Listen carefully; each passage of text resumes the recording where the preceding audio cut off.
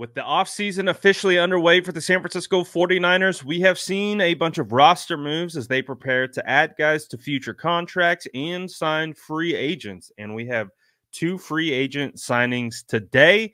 And as you can see in the picture, we have Ernest Brown, who is a former Northwestern Wildcat.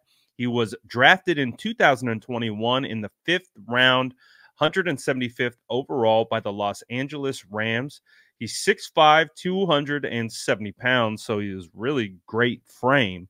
Um, but he hasn't played all that much in the league.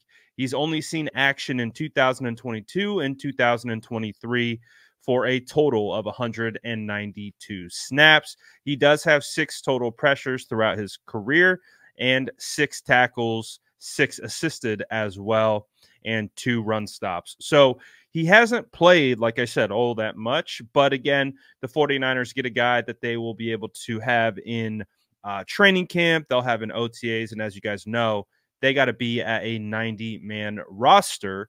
So they are going to be making some moves. And they've made 15 in total so far since the season has ended. And they made another one getting another defensive end, defensive lineman in Raymond Johnson. Uh, Johnson came out of Georgia Southern in 2021 as an undrafted free agent with the New York Giants. He stands at 6'3, 264 pounds. He saw action his rookie season. He got 166 snaps. He had four total pressures with one sack, three quarterback hurries, two tackles, and one missed tackle, and one run stop. Uh, but outside of that, he has not seen the field since 2021.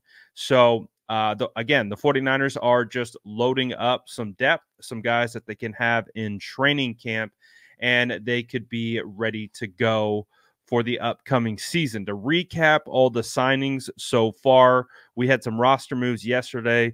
The 49ers signed Alex Barrett, who we know he's been on the roster since 2020. Austin Bryant, who was on and off the roster this year.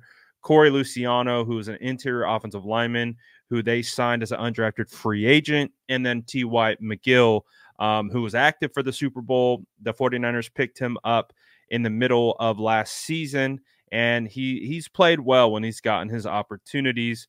But you've also heard that the 49ers signed uh, a bunch of other practice squad guys, such as Alfredo Gutierrez, Kemon Hall, Eric Harris, Taylor Hawkins, Tay Martin, uh, Curtis Robinson, Jake Tonges, uh, Spencer Waege, and Sam Okuyunonu. I apologize for destroying your name.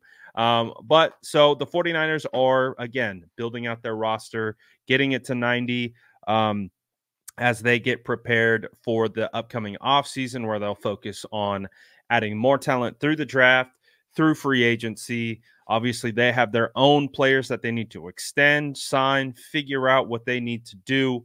But again, we are loading up on depth and we go get two today. And again, makes that a total of 15 players that the 49ers have signed uh, since the season has ended. So it'll be very interesting to see who else we get. But as you guys know, I know the number one thing that you guys are waiting for is you are waiting to see who the 49ers defensive coordinator is going to be. And uh, I, I, would imagine that the 49ers make a decision here somewhat soon, um, considering that there's a bunch of candidates available and some good candidates at that. So it'll be very interesting to see when that decision is ultimately, ultimately made. Um, but we are waiting and seeing. So, of course, we'll update you if there are any uh, additional roster moves, guys cut, released, added, etc., etc. Uh, we saw that the 49ers signed an assistant offensive line coach today, formerly with the Raiders. So it's the offseason. Moves are going to be made. So that's why you got to turn on your post notifications. Make sure you don't miss any updates because we're going to bring them every single time they drop.